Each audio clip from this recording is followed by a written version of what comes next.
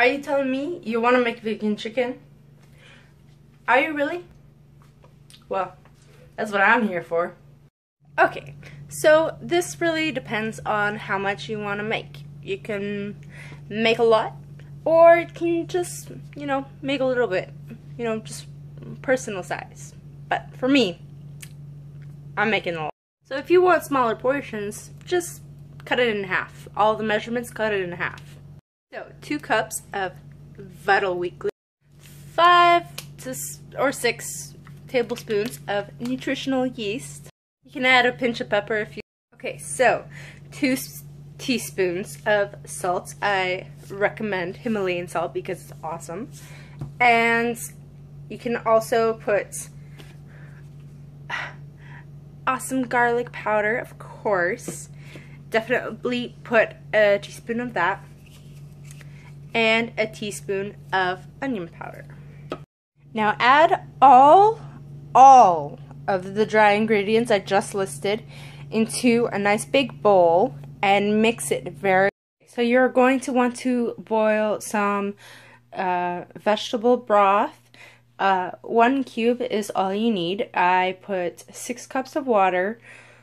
Um, I put half an onion and uh, I added some more garlic and some more salt a teaspoon of each you're going to definitely need these for future parts of the recipe and just to be sure, just put it on low, like medium, for about five minutes. So you're going to want to add three teaspoons of this lovely organic vegan barbecue sauce or you can use tahini sauce if you like and add uh, a cup and a half of the vegetable broth.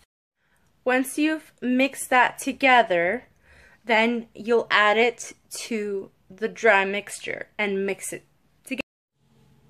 When you have already mixed the dry ingredients with the wet ingredients, they're going to look somewhat like this at the end. It's going to be just a little bit stringy. But you're going to want to do, you're really going to want that. Um, you're going to want to shape it after. You can have it whichever shape you like. You can be looking like a chicken breast or it can look like a McNugget if you want. So, once you've molded your chicken, vegan chicken of course, then it'll look somewhat like this. You can make them smaller to put them in meals as like a, a mix with meals like orange chicken or such as um, just little chicken bites inside rice if you'd like. Or even add them to burritos if you want. Now you're going to want to take your nuggets and just add them to the broth that I mentioned earlier. Now, finally, you are going to want to cover the pot in aluminum foil and put it in the oven for an hour at 350. So, while the food is getting ready, you're going to make about three eggs worth of egg replacer. You're also going to want to mix together some ingredients for the breading. So, flour is definitely. Now, of course, you've got to add some, just a little bit of garlic and some beautiful salt. You can also choose to add pepper to the mix if you'd like. After the hour in the oven, you're going to want to take the nuggets out. Uh, you can either use a slotted spoon or you can use a fork so that the broth doesn't come onto the plate with the nuggets. For the egg replacer and breading the nuggets, you can add a sauce to the egg replacer. It can be any flavor you like, uh, or you can just leave it plain just like that. So it will give it more of a McNugget taste if it's plain. You can also choose to add the sauce after the nuggets have already finished cooking. Going to want to add these babies, dip them in the egg replacer, and then dip them in the flour mixture, and then put them in another.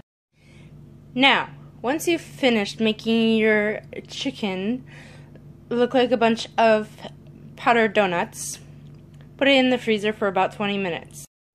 Create another batch of egg replacer that is again three eggs worth. Take the powdered donut looking vegan chicken and rebread it and fry in the same broth that you have used before except add just a couple of tablespoons of oil to it. And then, after, you're going to want to use a slotted spoon. Now, after about 5 to 10 minutes frying at maximum heat, with the cover on the pot, of course, to prevent any spillage, they should be ready. It's best to make multiple, so after they're done, you can let them cool off and pack them away for a meal the next day or even a couple days later. These are so delicious and so worth the time it takes to make them. Now if you like that, please come back for more. Like, subscribe, and be sure to tell your friends. I swear it's not a chore. Love you, bye!